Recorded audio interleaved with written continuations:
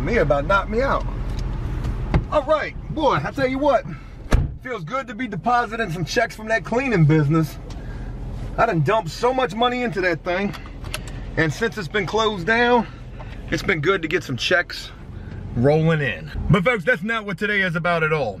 Today, folks, we are getting ready to go meet an awesome fan of After Prison Show, a guy by the name of Jamal. Now, to give you a little bit of backstory on this dude, uh, this guy sent me an email about a week ago, and that's how we first began to, to talk. And when I heard this guy's story after that first email and beginning to speak with this guy on the phone, I was just super compelled by this dude. This is a guy who's 31 years old, who's lived in a hotel for over two years now. He served some time in jail.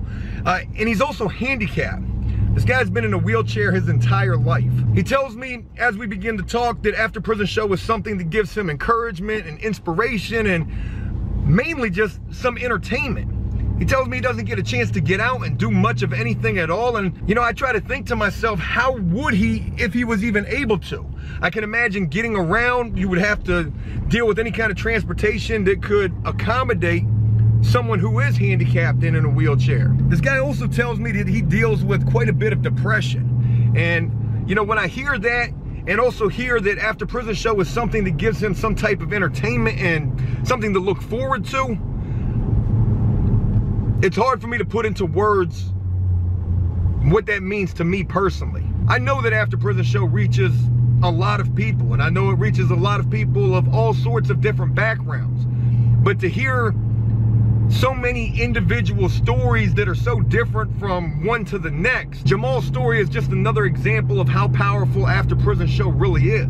And today I want to go meet with this guy. This guy's local to where we are, and if we can do anything to try to help lift the spirits of this dude, I truly feel like that's something we should do. We're gonna get to know this guy today. You're gonna get to know him just as we're gonna get to know him because this is gonna be our first time meeting him, as it will yours as well. And I also want to talk with this guy about what he's been through and more importantly ask this guy a question that's been asked to me quite a bit throughout the course of after prison show you know what is it like to serve time for a person who's in a wheelchair ain't a parking spot around ain't a parking spot i think that guy's getting ready to leave we're getting ready to go to the po box right now you could go park way over oh you can wait on him ah no he wants to get back in his trunk hey did i shut my trunk all the way yeah okay i didn't want to let him see that I was filming. Then he would really take forever to get out of here.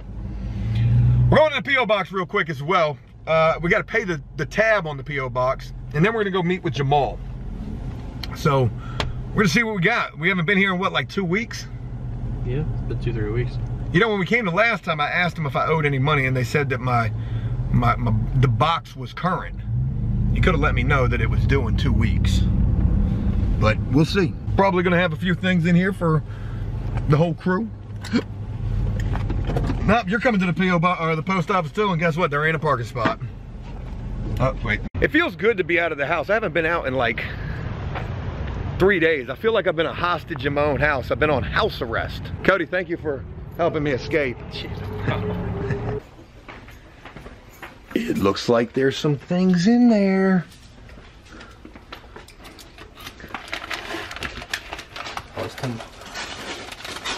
back there. Post office fee due. Yeah. Yeah, gotta pay that. Gotta make sure we stay paying that.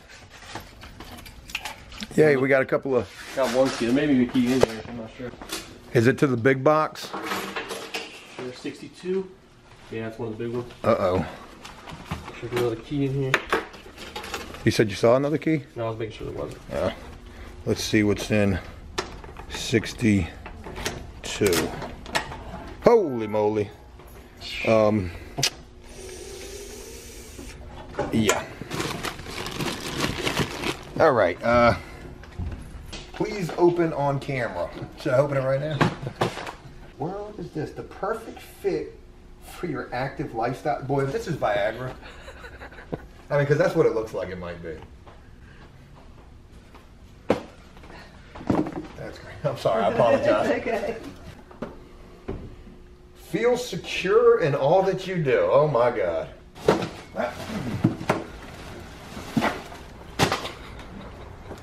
Appreciate it.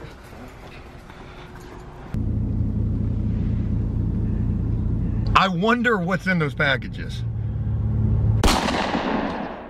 We have been on the road for a little while. We are almost at the location where Jamal is at. Again, Jamal's been living out of a hotel for over two years now. And, you know, to think about living at a hotel, it's already going to be small and claustrophobic, and you're not going to really have that much room in there. Granted, you are going to have a room, at least you do have some kind of shelter, some kind of housing. But to also think about being limited in the fact that, you know, you can't walk, you, you're in a wheelchair. I can't imagine what this guy's life has been like or what this guy's life is like.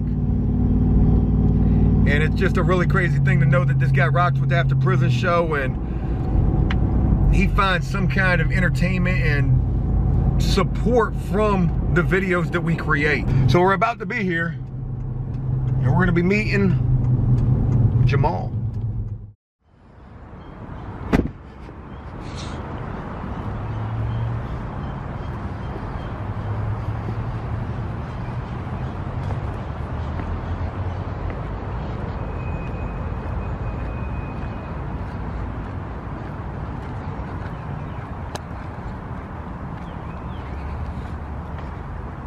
Man, this thing is like super short.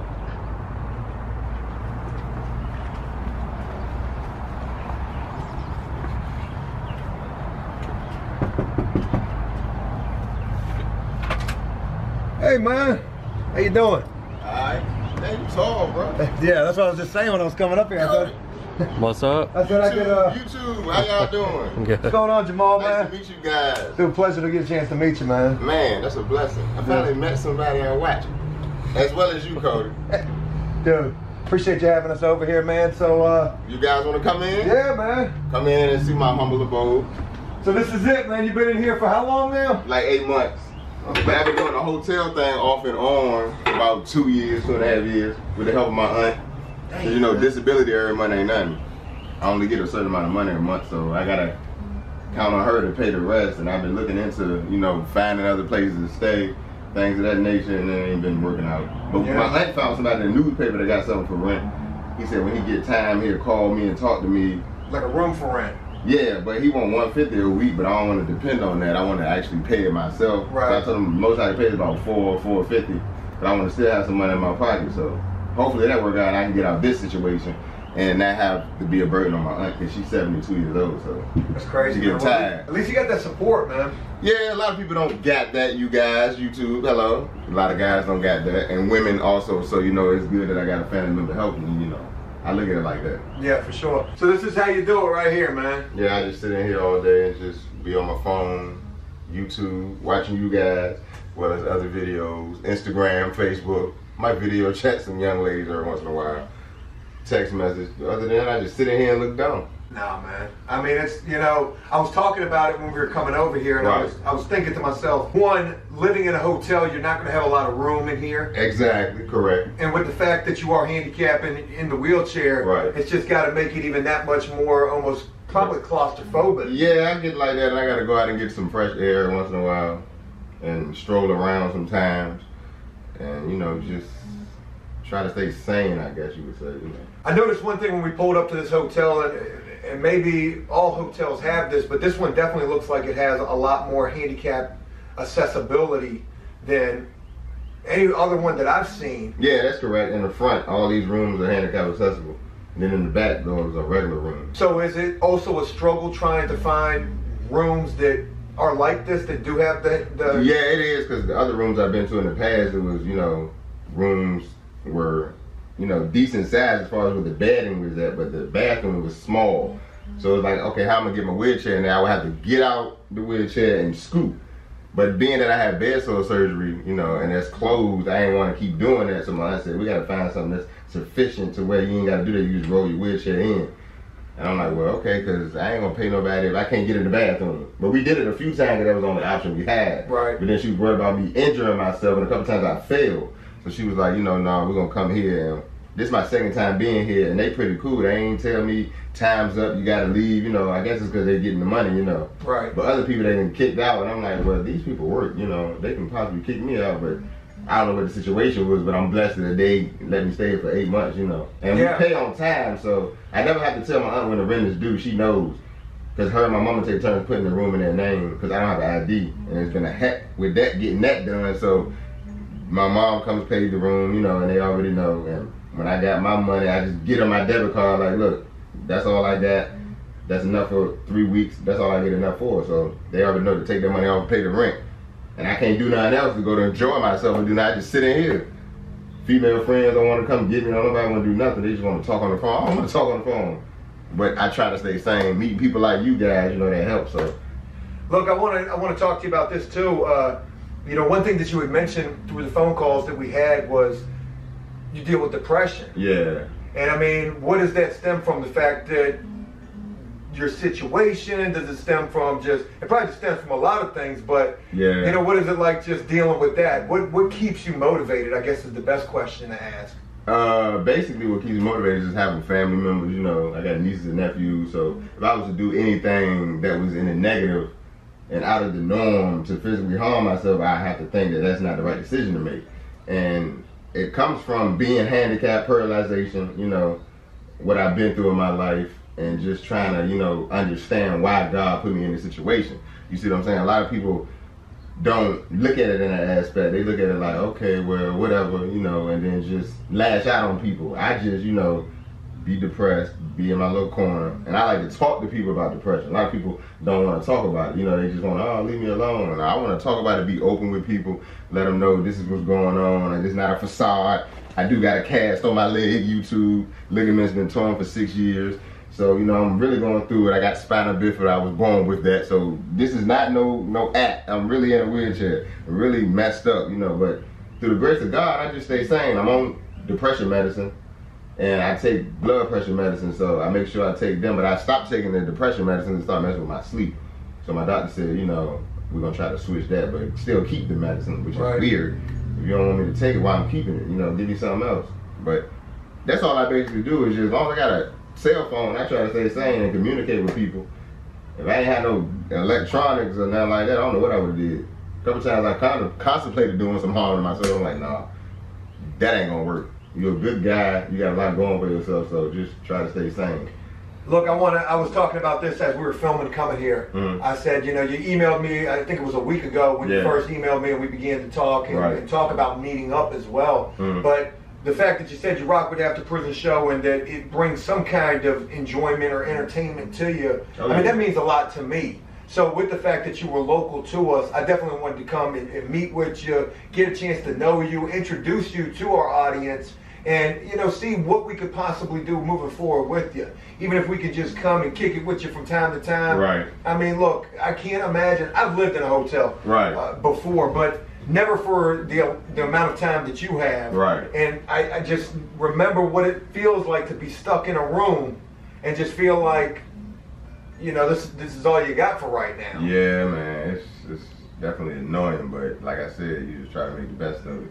You know, I sit in here, then I see people on Instagram, Facebook, they going out, going places. I'm like, well, I'm broke. I ain't got no money to do nothing. I mean, it's it be nice days, and I just sit in here like it's a nice day today. I want to go out, but I'm broke. Like, what I'm broke? A person like me ain't supposed to be sitting here like this every day. I don't care if it's just catching the bus and ride the bus and go get some ice cream or something, or tell a female friend, hey, you catch the bus, come meet me somewhere. Other than sitting in here, because I'm going insane. You can't really see it, but from you talking to me, you can see. I'm going crazy, cuckoo. Just opening the door, sitting at the door, that's boring. Yeah. I don't know. But, you know, YouTube, they probably understand. You understand. Cody. Shouts out to Dave and Rabbit, too. I want to meet them guys. I wish we could have brought him. Uh, Rabbit started a new job. Dave's been working a lot at his night. Shout out to you guys, man. Hell Them yeah. guys, man. And that's what he, that's that's what you had told me. You said, you know, I want to meet the whole crew. Right, right, exactly. And in due time, we will. We probably will. Jamal, again, greatly appreciate you having us over here and, and getting a chance to to meet you. And you know, it's also a really awesome thing that you rock with After Prison Show. Yes, sir. You know, tell me a little bit about what made you like how you found After Prison Show and, and what you liked about it. And I don't want this to sound like any kind of an ego trip right here. You, know, but, what what made you stumble across it, and what kept you checking it out? Uh, I was on uh, YouTube and I just happened to see it, and I was like, you know, let me check these guys out. And I checked it out, and I was like, this is something unique. You know, you guys have a story to tell because you guys did time as well as me doing a little bit of time. I ain't did near as much time as you guys, but I sat down and I was there, so you know, I was like, you know, let me see what they talking about. And as I started watching more, I was like, I like, I like these guys. I would love to meet these guys in person. So one day I was like, okay, this is how I get in contact with them. Let me email. And I kept going back, make sure I had the right email. I'm let me email this guy, tell him my story. Hopefully he would want to meet me and help me out, and maybe I can make a YouTube and people can hear my story. You see what I'm saying? And we were talking about that just a little while ago when we weren't filming. Right. Uh, you know, you do have aspirations of wanting to do videos. Right. And one thing that I was saying is, you know, meeting you for the first time, seeing your energy and your your personality, it's it's really an amazing thing. Thank you. I think to myself because I get depressed as well, and you mentioned that you know you deal with depression. Right.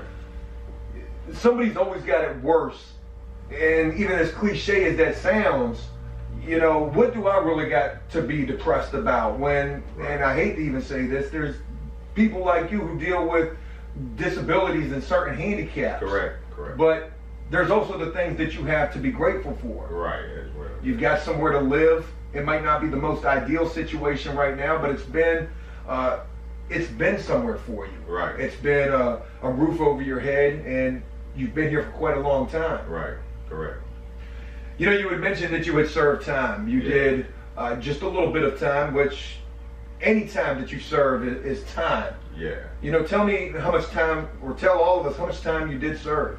A little bit, uh, almost a year, almost a year. And you were, where were you at? That Hampton Roads Regional. You know, I've heard a lot of good things about that place. Are they true?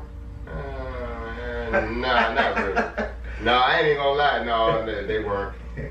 but they do have, uh, I guess they have a, a, a medical. Yeah, I was in a medical pod where everybody that's in the pod have medical issues, and there's a nurse on standby. She got her little desk, her little medical supplies, and um, if anything was to go wrong, like you needed to be, Seen immediately. yeah, they would come. It might take a little while, but they would come. Luckily, I was one of the ones that didn't need anything. You know, I was in there, like I said, with open bed sores. Because before I got incarcerated, I was supposed to have surgery, but you know, things happened. I got incarcerated, so I was in there with those. Couldn't be in population like that. But when I first got there, they did put me in population for about two weeks, and then I made a fuss about it. And then they were like, "Okay, we're gonna move you, but we gotta make sure they got a bed open because you know they had a new inmate coming in, and he's supposed to be coming in your place in population." So when they moved me back there, I already had been in the medical part. That was my second time getting locked up.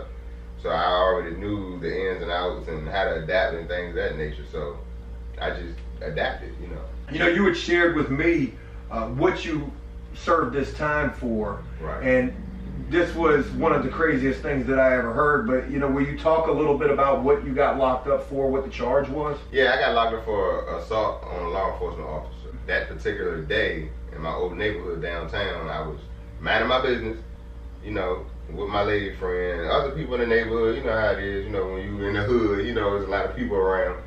Something happened that it didn't have nothing to do with me, and the officer decided to pick on me once the person he was talking to, like, go talk to the guy in the wheelchair.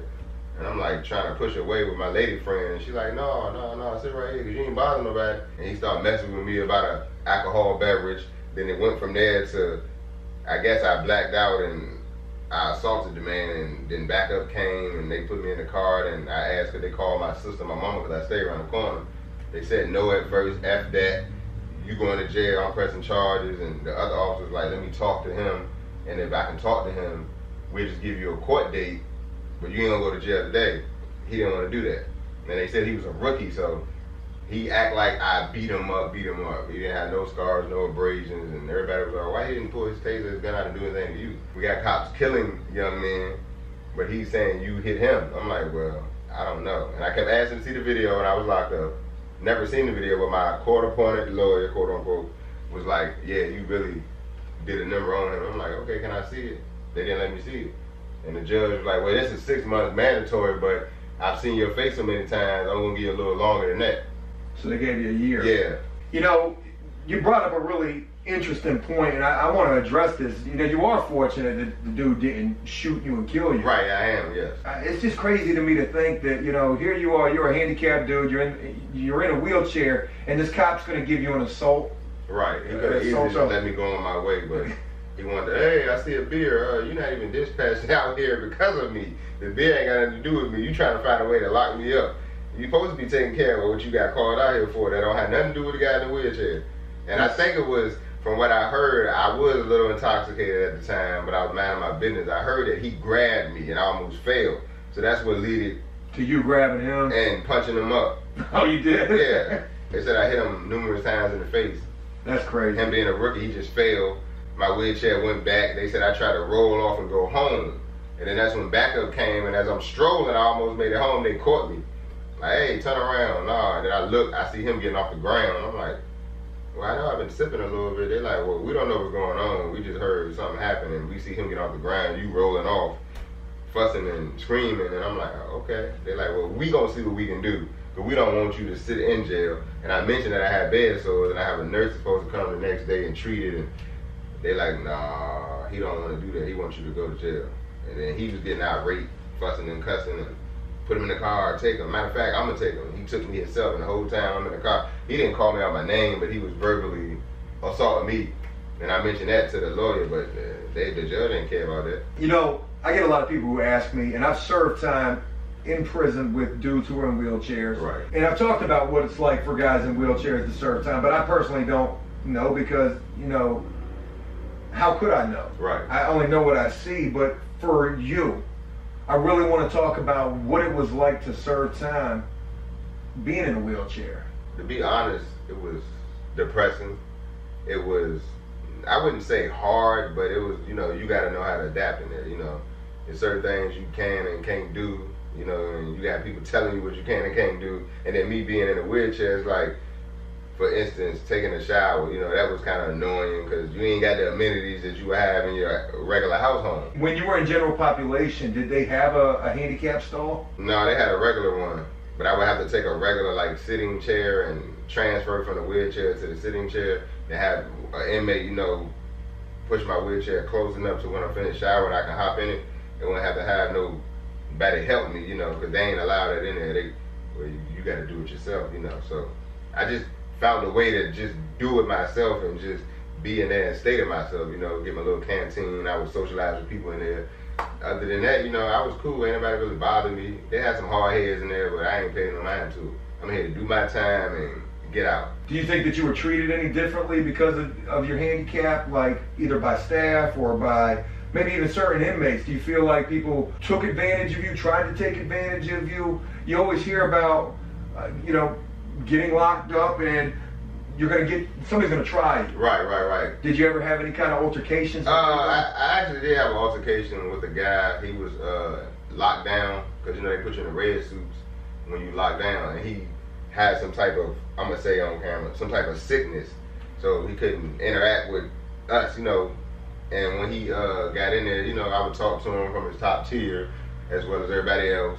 Then there came a time where he said something to the nurse while he was locked down, and then he wanted me to take the fall for it and I didn't. So then when they let him out of lockdown, you know, it was a back and forth thing of what him and another guy that got a murder charge was going to do if they let the guy with the murder charge out to me. I guess they had some type of weapons in there. They was going to assault me.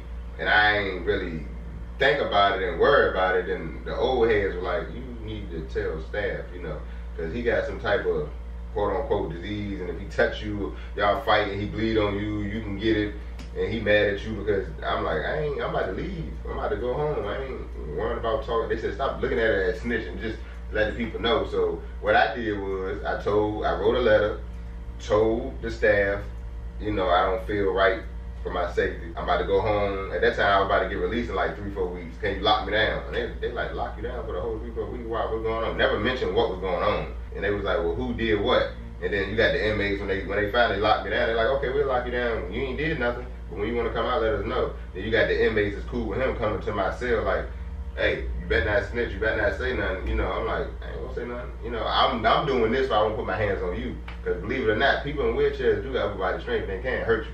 But y'all talking about what y'all got in that cell. I don't got nothing. So I'm not gonna tell no no officer or nothing like that. I'm gonna let th- them figure it out. Basically, end up happening was I guess another old head. You know how the old heads are. End up talking to the sergeant because they said the dude that I had an altercation with was being a nuisance to everybody. So this particular guy went and I guess you call it snitching. Was like he messing with the dude in the wheelchair. This is why he locked himself down. They took and removed that guy out.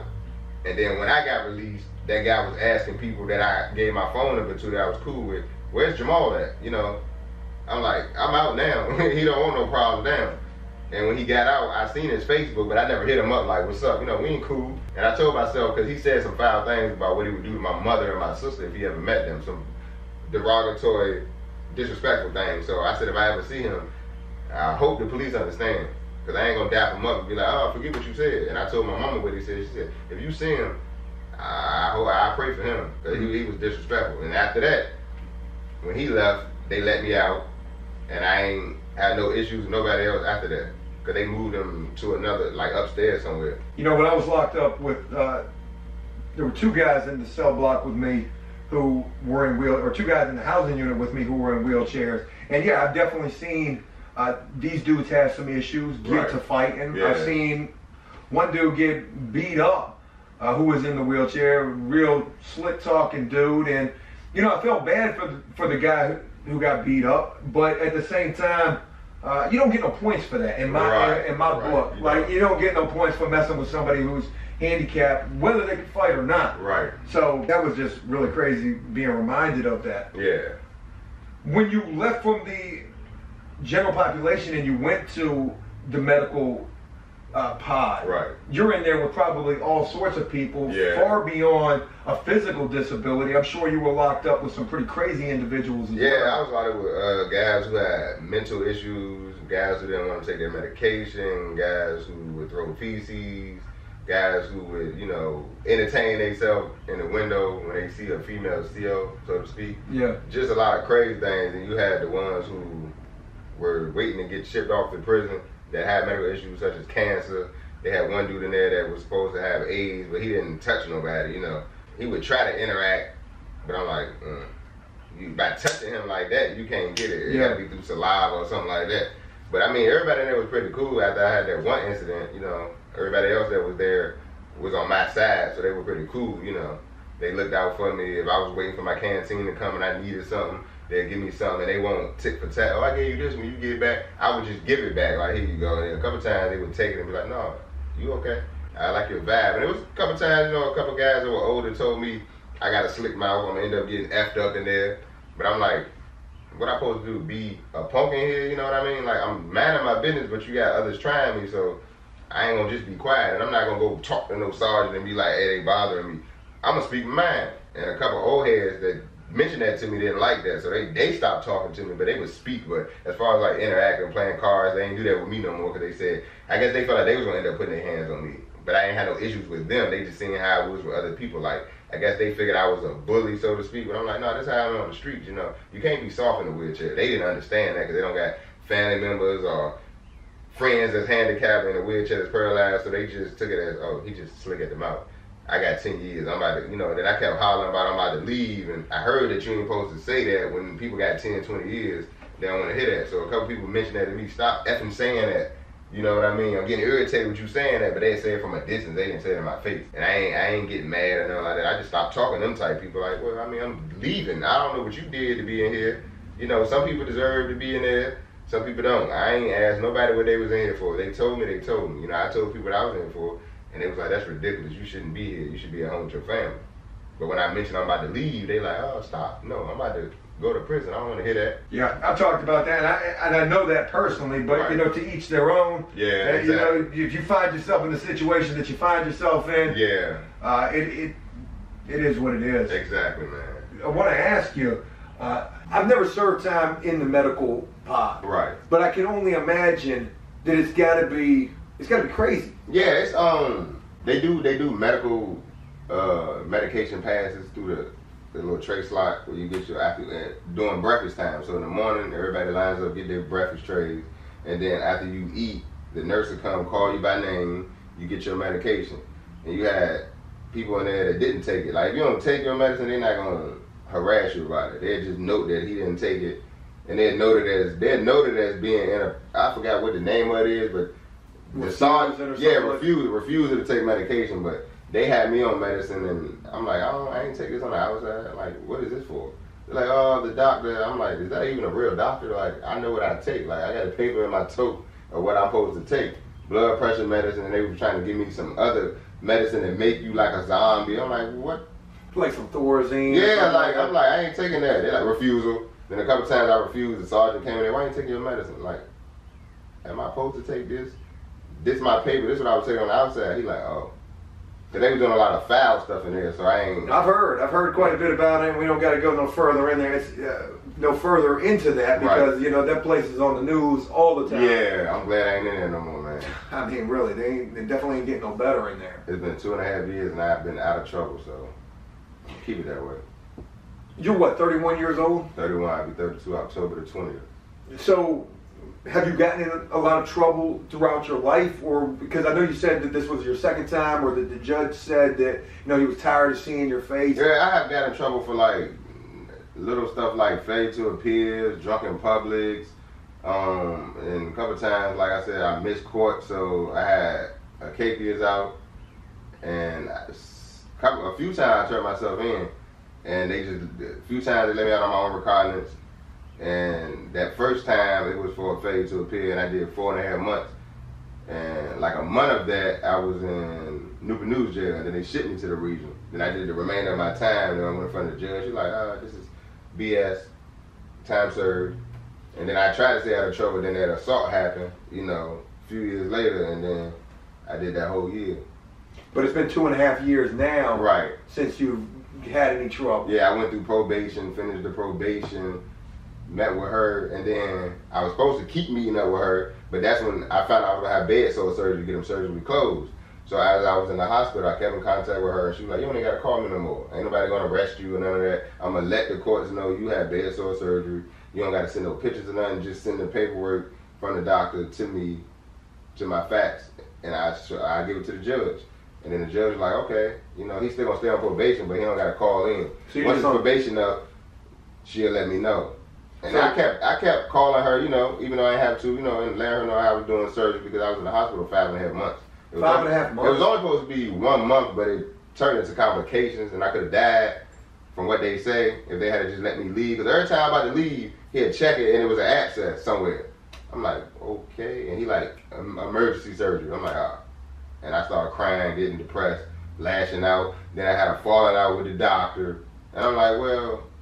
I'm supposed to be free, you know. Just feel like I'm in jail, you know. Once again, I'm looking at a window. I can't. I'm bedridden. I'm like, I want bedridden before I got in here. He like, well, this is how we do the surgery because I was in a sand bed. Like it's a bed with sand, and you just gotta lay there. I ain't turned into a vegetable, you know. I was lifting up, got my arms right, and you know, I, I wear Depends anyway. That's something I want to mention to the guys. I've been wearing Depends for 31 years, so as I was in there, the nurse would try to change me. I'm like, nah, I can do it myself. But if I had a few accidents, and they had to do that, and they looked like they was irritated, huffing and puffing. Well, you need to stop drinking the coffee. Yeah. You know, does it? uh Is it? I I don't want to ask the wrong question here. And I, I, You can ask, man. Go ahead. Is it at all degrading for you when people have to help you in any kind of a way, like what you just mentioned about the depends? If somebody has to help you with that, or Uh, in jail with the shower situation, for example. Not, not, not really. I used to look at it like that when I was locked up. Like, oh, they helping me. I don't like this. But then as I thought about it, like everybody need help someday. At some point in time, you gonna need help. So no, I ain't. I don't really. And as of now, I don't have nobody to help me. Like my new doctor tried to give me a nurse. Like, why I need a nurse? I just need you to send these paperwork to my insurance to get what I need. I don't need a nurse, but the nurse ended up coming. She's like, you got good upper body strength. You don't need a nurse, but I can do physical therapy, so I'm about to start that. Then that's how the new wheelchair thing came apart, came upon, and the guy that owns the company came and was like, you know, we can help you with that. I'm like, well, I need that because this is not where it's at. Man, It's I'm, raggedy. And I had this for like five years. he ain't got an armrest on. I was locked up with this wheelchair. The armrest fell off in jail. They tried to screw it back on, but as they got annoyed, I just threw it away. Where do you get the wheelchair from? The insurance paid for it. My old insurance, I had Optima, and they paid for it. Now I got a new company called Magellan Complete Care. So they're gonna pay for a whole custom wheelchair. It's about twenty three hundred dollars. It ain't nothing like this. Custom wheels, like racing wheels. They got a detachable electrical motor, so it's a detachable motor. You can charge it up. It go about like ten miles per hour. You just hit a button, and it go left and right without you even turning your wheelchair. You can just hit the switch and it'll go left and right. So that'll be built and delivered here in about 60 to 90 days. He got to meet with me one more time with his laptop, go over my coloring, and my design, and how I want my cushion to look. Cause I'm getting a new cushion too. That's about six hundred dollars. So you add that, that's about three thousand some change.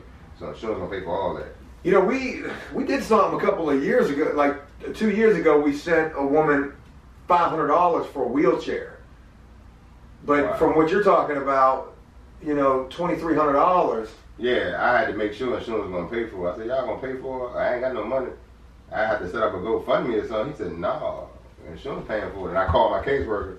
She said, yes. Anything you need, the pins, new wheelchair, because the wheelchair you got, we didn't buy that. Your old insurance company bought that. You with us, you've been with us for a few months now, so whatever amenities you need, we're gonna pay for it. So I'm just waiting on that wheelchair. I wish I had a picture to show you, but if I find one, I definitely text it to you. You gonna be like, oh, this is cool. Look like some Hot Wheels type stuff. There you go. I already told him I wanted red. I want red or blue with some type of like graphic engraving in it. I told him I'm gonna sketch it out so when he come he can incorporate that in his laptop drawing. So it's gonna be cool.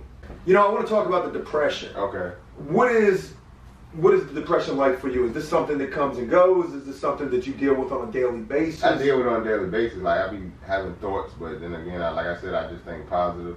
You know, I got people I know that took their own life and their significant other's life through depression. And then some of them ain't even have a significant other, it was just depression.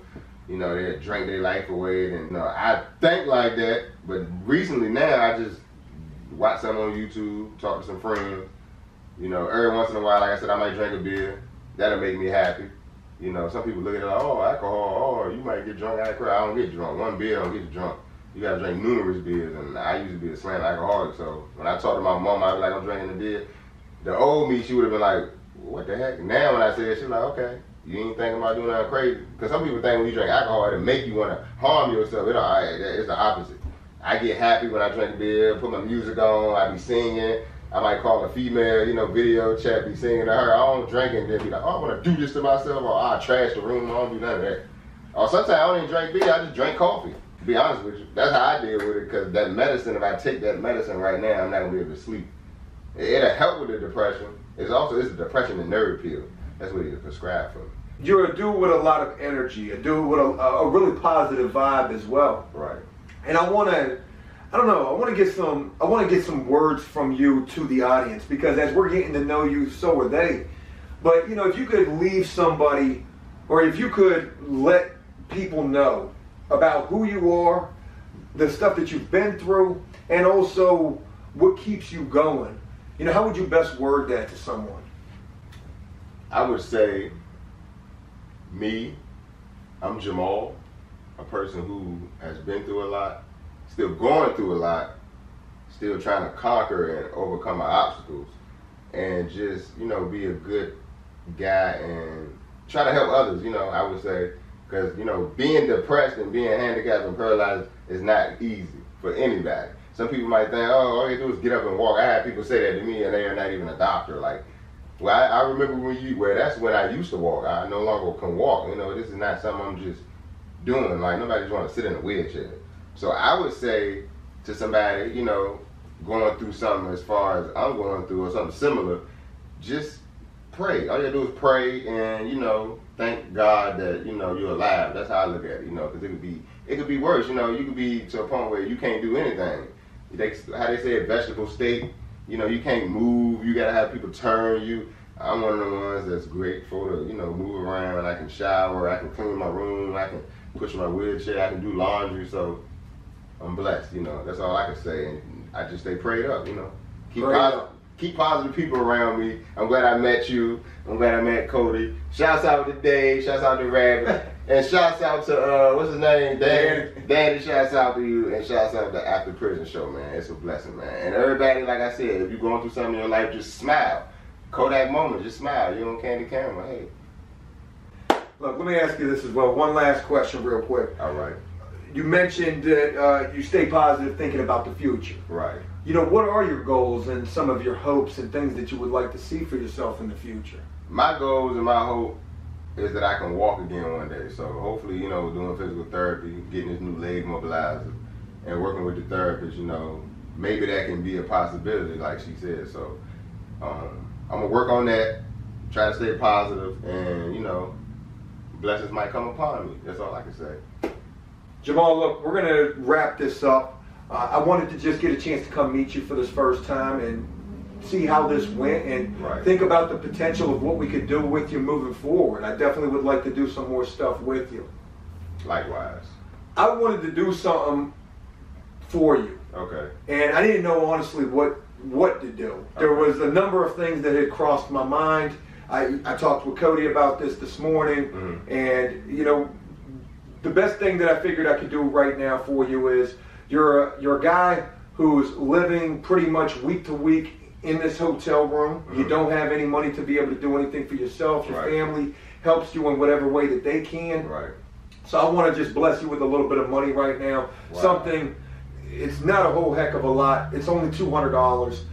I want to give this to you though, and just this is for you. This isn't just from me. This is from the entire After Prison show, who sees a positive individual such as yourself, who doesn't get a chance to leave from this hotel room that you live in all that often because you don't have the money to be able to do so. Wow. So I hope that this money will allow you to get out here and to be able to enjoy this day. Yeah. man. Get on a bus, go meet with one of your lady friends, go get you something to eat. Yeah, I want to say to you and Cody and everybody else, I gratefully appreciate that, man.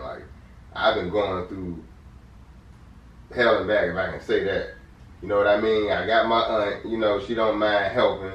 But, you know, we've been looking at places, so I won't be in the situation. And for you to do that, that's very gracious of you, my brother. Look, I want to give this to you, Jamal. Wow, man. That is. This is for you right here.